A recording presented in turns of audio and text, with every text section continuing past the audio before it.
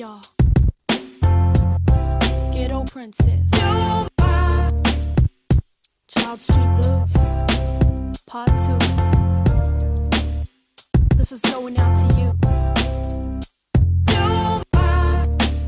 Cause this is how it is. Now most of baby girl's life has been so treacherous Violated by molesters, perceived as a fiend By the best of us, deceived like the rest of us So naive to believe the dream society will be protecting us More like forgetting us. Cause when there's mouths to feed And your sons don't have the balls that they need To try and provide for their seeds. And everybody's so quick to judge But won't budge the part with their greed. Only a girl but had the world taken from her by some sick mother claiming that he loved her. Couldn't explain the pain, all she knew was it hurt, especially when people had the nerve to even this girl's a woman, but not by choice, it seems. A million prayers can't silence her screams. Left alone in this world to provide for self. Not only that, soon she'll have somebody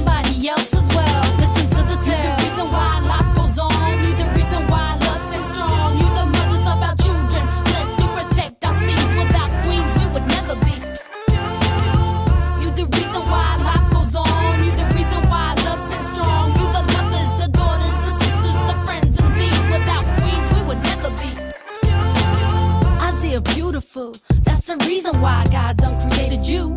And he knew that you were stronger than the rest of them. That's why he's testing you, girl. No need to question him. You blessed by him, so you gotta have a little faith. I know it's easy enough for me to try and say. But when you wake up in the morning, if this is your last or you fed up, you had enough,